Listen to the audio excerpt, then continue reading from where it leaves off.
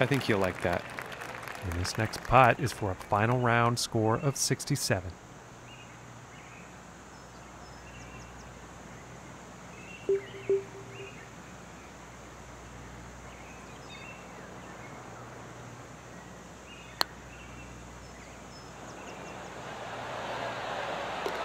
And from that length, my goodness, that was some putt.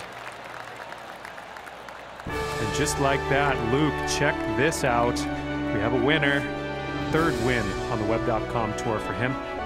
Don't forget, John, this win also gives them their PGA Tour card. I think they'll be celebrating hard and fast tonight, John. They've deserved it.